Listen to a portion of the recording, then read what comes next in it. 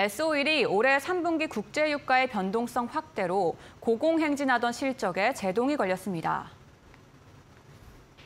S-오일은 올해 3분기 연결 기준 매출액 11조 1,226억 원, 영업이익 5,117억 원을 기록했다고 밝혔습니다. 이는 전년 동기 대비 매출은 56.3% 증가하고 영업이익은 6.9% 감소한 겁니다. 특히 직전 분기 대비로는 각각 2.8%, 70.3% 감소했으며 순손실은 96억 원을 기록해 적자 전환했습니다. S-오일 관계자는 매출액은 글로벌 경기 침체 우려에 따른 원유 가격 하락으로 전분기 대비 소폭 감소했다면서 국제 유가 및 정제 마진 하향 조정에도 윤활 및 석유화학 부분의 실적 기여 확대로 영업이익을 냈다고 설명했습니다.